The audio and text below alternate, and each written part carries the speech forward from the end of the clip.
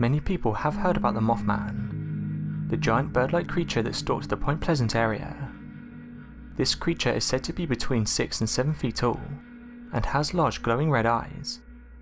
However, it's not just Point Pleasant that has one of these creatures. On the 10th of September 1978 at a mine in Freiburg, Germany, a group of 21 miners arrived in the morning to find a dark figure with wings on its back in the entrance to the mine.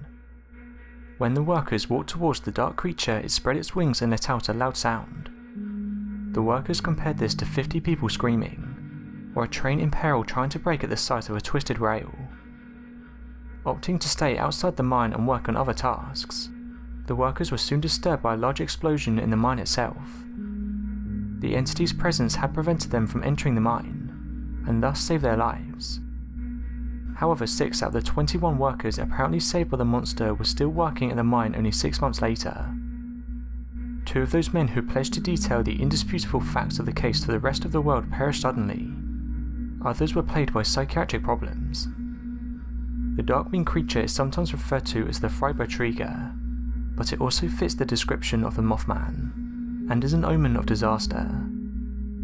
Some have said that if you're saved by one of these creatures, it would be wise not to talk about it. They have been called many things, but some think they're able to warn us of bad things that are going to happen. They usually appear as a dark figure or something that looks scary. This is to deter us from going any further. This has worked on many occasions. So what are people seeing? While many believe there is more than one Mothman, others aren't so convinced. Some have put forward the theory that these entities are actually normal animals that are being misidentified.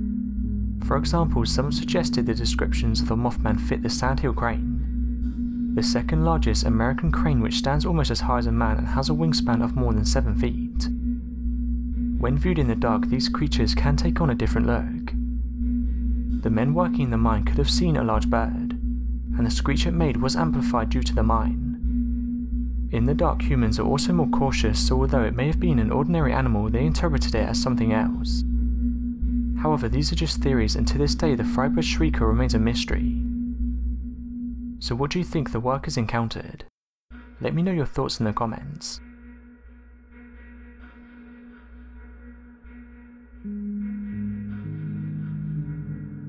Thanks for watching and don't forget to subscribe for more videos.